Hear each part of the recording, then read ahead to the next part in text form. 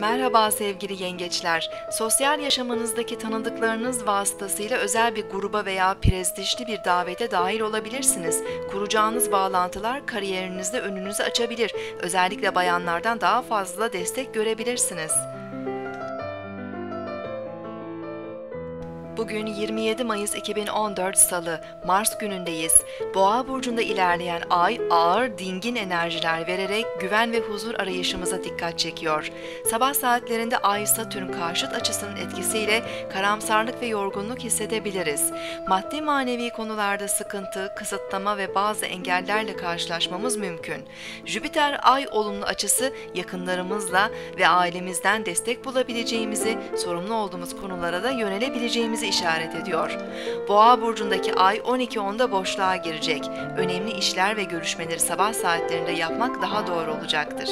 Yarın doğacak yeni ay öncesinde elimizdeki işlere konsantre olabilir, eksikleri tamamlayabiliriz.